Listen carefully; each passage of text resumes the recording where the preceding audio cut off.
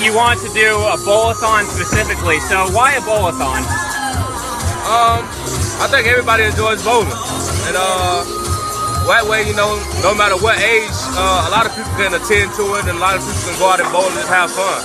And you know, it'd be for a great cause as well. So I thought it was the perfect idea. Are you as good a bowler as you are a football player? Not quite, but I'm working on it. How often do you get out to the bowling alleys? Uh, every now and then, but not too much. Uh, I be so busy with football and different things like that. And when I'm not doing uh, football, I play video games most of the time. So, I mean, every once in a while, but I think it's just a natural skill. What other community service have you been involved with? Uh, each year, uh, I give back to my school where I'm from.